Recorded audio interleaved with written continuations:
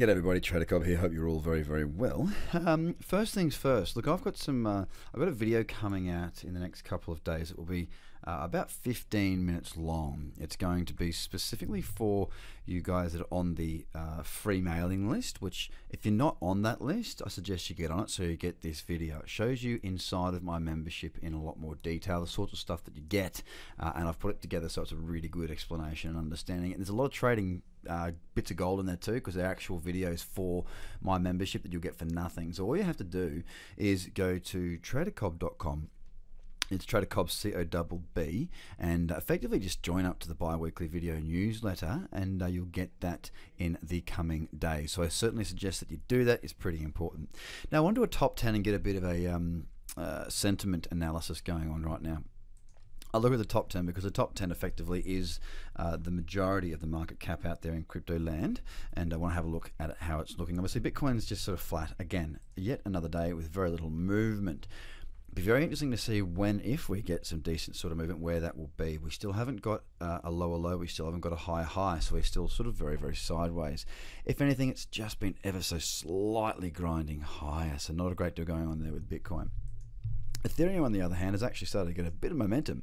You know, we've gone from what three, or is it 360 to 430, so that's a pretty decent move, and uh, it just keeps on chipping away, which is good for Ethereum. We're in an uptrend there on the four hour. We finally cleared the high here. We're looking for pullbacks for opportunities for potential trades, given that we are starting to get some momentum. But I'm not overly, um, you know, uh, excited about getting into Ethereum just yet. Ripple has had a good pop yesterday, as you can see there in that four hour big uh, drive to the upside. Have a look here, very strong candle and uh, looking a bit more bullish there, which is good. Bitcoin Cash uh, has been grinding away like Bitcoin, simple as that. Litecoin not doing a great deal to be absolutely fair. EOS has been one of the star performers for sure, having an absolutely amazing move and um, yeah, a, a, very good trade present was presented to us uh, on against Bitcoin with that, but a good move there. More bullishness again with Cardano or Cardano, or however you want to say it. Uh, you can see here again, we've got this higher low and now a higher high. We are technically in a weekly uptrend. This four hour is a bit extended. Looking for pullbacks to see if I can get some opportunities to, uh, oops, to enter. But right now, it is just about really sitting back and uh, and waiting to see if there's any opportunities. It's just getting a bit funky right now. Happy to sit back and wait. Lumen also moving, although not in an uptrend just yet. That's very strong. You can see higher low just breaking up through the high. Very similar looking to Bitcoin, except for it's broken up through those highs. But again, a little bit of bullishness starting to creep in. There has had a good move as well, as you can see off of these lows. This is an old support level, a very significant and strong level.